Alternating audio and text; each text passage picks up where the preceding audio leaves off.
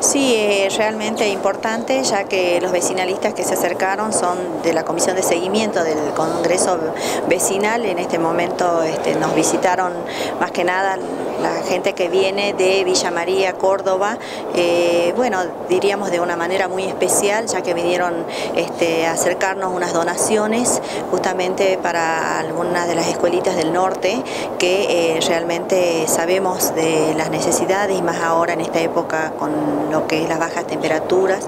Y bueno, como ellos este, ya venían años anteriores, eh, saben de las... De, de los momentos o de la situación de nuestra provincia, así que bueno, son solidarios, se acercaron a nuestros niños y hicieron llegar los aportes y las colaboraciones. Es la primera reunión que tuvimos hoy aquí en el, en el Consejo Deliberante, pero anteriormente estuvimos participando con vecinalistas de distintos barrios.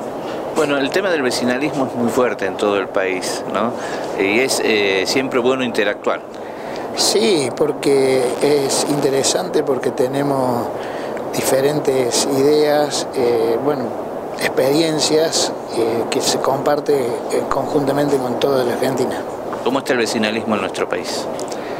Está poniéndose fuerte el vecinalismo en nuestro país. Sí, y tenemos participaciones de países como tenemos de Brasil, de Chile, cuando se hacen los congresos, Paraguay, que asisten, eh, bueno, a nivel nacional e internacional se comparten muchas ideas.